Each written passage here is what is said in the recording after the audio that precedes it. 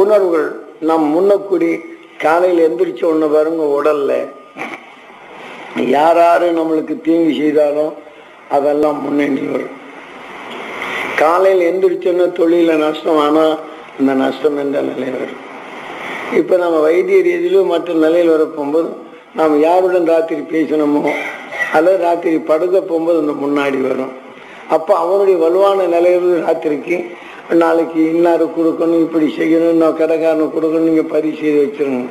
ஆக நாளைக்கு வந்து இவன் இப்படி கேட்பானே அப்படின்னு முன்னறிவிப்பா நம்ம என்றோம். அந்த உணர்வு முன்னணி இருந்த ராத்திரி நீங்கள் தூங்க முடியுதா? தூங்க முடியல.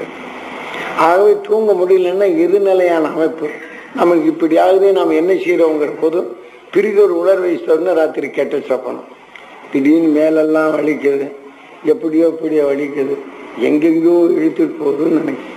பலருடைய வேதனை என்று உணரும் போது பலருடைய உணர்வுகளையும் நமக்கு சிந்திக்கும் ஆற்றலை விட்டு அதனால அந்த உணர்வுகள் இங்கே வரும்.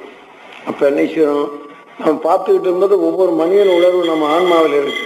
இது பலவிதமான கலக்கல் வரும்போது என்னை பார்த்தோம்னா ஒரு ஒரு உருவத்துக்கு கை இருக்காது கால் இருக்காது தலை இருக்காது. இந்த நாம ரெண்டு படங்களை போட்டு காமிச்சு அன்னைச்சுது எது முன்னணியில் இருந்தால் அதன் வழி தெரியும். இப்படி நம்ம ஆன்மாக்களில் அது அதிகமாக இருக்குமோ உயிரில் பட்டு அறிய செய்யுது நாம் புலனடங்கி தூங்கினாலும் இந்த ஆன்மாவில் இருப்பது தான் எதன் உணர்வு? அதாவது வந்து இருந்தால் ஆனந்தமாக இருக்கும். இப்போ நீங்கள் துருவ நட்சத்திரத்தின் பேரரில் நீங்கள் பெற வேண்டும் என்று படுத்து பாருங்க. ராத்திரிக்கு அங்கே வானமண்டலத்தில் கொண்டு நிறைய இருக்கிற மாதிரி அதே மாதிரி நாளைக்கு ஆசை இதெல்லாம் பெற வேண்டும் என்ற ஆசையோடு இருந்து பாருங்க. இன்னொரு இடத்துக்கு இது பண்ணணும் அது பண்ணணும். இங்க மிதக்கிற மாதிரி தெரியும். எங்கேயோ பறந்து போற மாதிரி தெரியும். இந்த உணர்வின் ஆசலைகள் அலைகள் அங்கே செல்லும். ஆக இடைப்பட்ட பின் ஆசை அது எதிர்ப்பு நிலை வரப்போகும்போது திடீர்னு மறையும். போற மாதிரி இருக்கும் இந்த உணர்வு இருக்கும். அப்ப நாம இங்க மிதக்கிற மாதிரி இருக்கும். இப்போ திடீர்னு என்ன செய்யும்? எங்கேயோ போகிற பொழுது இந்த உணர்வு விழிப்புணர்ச்சி வரும். எந்திரிச்சு பார்த்தோன்னா உடல்ல பட பட பட பட பட பட பட இருக்கும் ஆக இது எது இயக்குகின்றது? இந்த உணர்வு உணர்ச்சிகள் நம்ம இயக்குறோம் ஆக நம்ம எண்ணத்தின் வடிவம் ஆன்மாவில் பெருக்கப்படும் போது இந்த ஆன்மாவில் எது நிலையோ அது அதிகமாகும். நாம் பார்த்தது கேட்டது நுகர்ந்தது அனைத்தும் நமது முன்னணி ஆன்மாவாக வருகின்றது.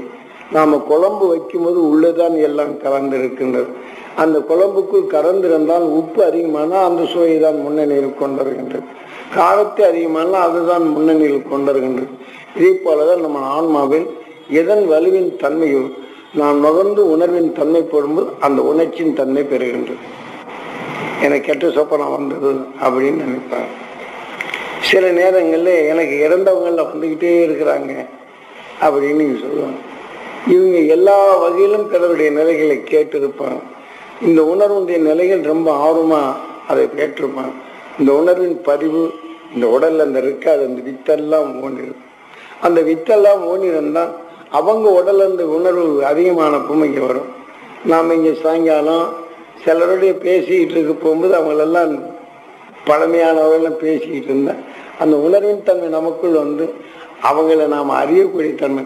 செத்தவங்க வந்தாங்க அவங்க இந்த காலத்தில் வந்தாங்க இந்த உருவம் தெரியும். இப்போ நாம் என்ன நினைக்கிறோம்? அவங்க உடலில் விளைந்தது அவங்க உணர்வின் தன்மையை இந்த நிலையில் வரப்படும் போது நமக்குள் என்ன நடக்கும்? அதே போல பதட்டமும் பயமும் நாளை என்ன ஆகுமோ அவங்க இறந்த இந்த பய உணர்வுகள் நிச்சயமா வரும் அப்ப அந்த மாதிரி நிச்சயமா வரும்னா அந்த ஆன்மாவை சுத்தப்படுத்துறது எந்த வழி? ஆமா அந்த மாதிரி வருதுனாலும் ராத்திரியில் வரப்போகும்போது விழிப்பு வரும். அப்ப பதட்டம் வரும். அப்ப பதட்டம் வரும்போது நம்முடைய நினைவு எங்க இருக்கணும்?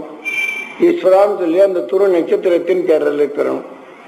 இப்போ ரேடியோ டிவி அலைகளில் எந்த ஸ்டேஷன் வைக்கிறோமோ அந்த அளவரிசை தான் இருக்கும் ஆக அதற்கு என்ன இருக்கின்றது? ஆண்டினா இருக்கின்றது. ஏரியில் இருக்கின்றது. நமக்குள் ஆண்டினாவும் ஏரியிலும் நமக்கு கண்ணு தான் கண்ணால் கவர்ந்து அந்த உயிருக்குள் நுகர்ந்து உணவின் தன்மை அறிகின்றது. ஆனா கருவை ருக்மணி பதிவான பின் இந்த நினை வந்த பின் கண் வழிதான் இந்த ஒருத்தன் கெட்டவனை நாம் பார்க்கிறோம். அந்த ஊழ்வினை என்ற வித்தாக நமக்கு பதிவாக்கி விடுகின்றது. அப்போ அவன் நினைப்பு வரும்போது இந்த கண் வழிதான் அவன் செய்த உணர்வெல்லாம் இங்கே வருது. அப்போ அதவழி கவர்ந்து நுகர செய்யுது அப்போ அவன் மேலே நம்மளுக்கு வெறுப்பு வேதனை நம்மளுக்கு இப்படி செய்தான்.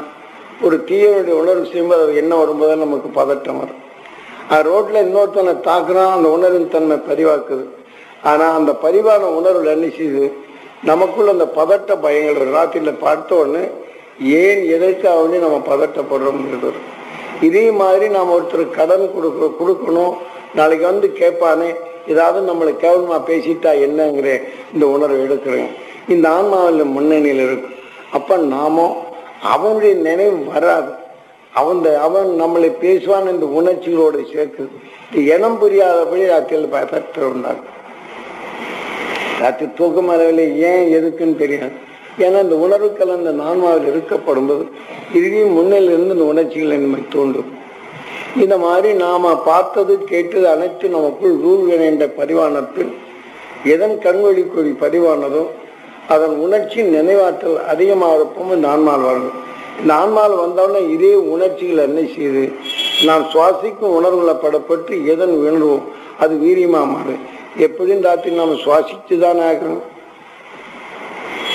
ஆக இந்த பிராணாயாமம் சொல்லுவாங்க இதில் எதன் அழுத்தம் அதிகமாகின்றோம் அதன் உணர்வின் இயக்கம் அந்த கெட்ட அணுக்கள் நமக்குள் வளருது வளர்ந்து கொண்டிருக்கிறது அடிக்கடி இந்த உணர்வு வளர்ந்து விட்டால் நமக்குள் என்ன செய்யுது பதட்டமும் பயம் வந்து சிந்திக்கும் தன்மை அதை இழந்து கொண்டே வரும். அப்ப நம்மளை அறியாமை சிந்திக்கும் தன்மை இழக்கப்படுவது பயத்தின் உணர்ச்சி அதிகமாகும். அந்த பயத்தின் உணர்ச்சி ஆகும்போது வேகமாகவே அந்த தீமையின் உணர்வை நமக்குள் அந்த ரத்தத்தில் கலக்கும் தன்மை அந்த ரத்தத்தில் கலந்து விட்டால் நம்ம ஏதாவது எண்ணத்தில் செய்தால் என்ன ஆகுமோ ஏதாகுமோ என்று இந்த பய பயத்தாளர்கள் தான் வரும்.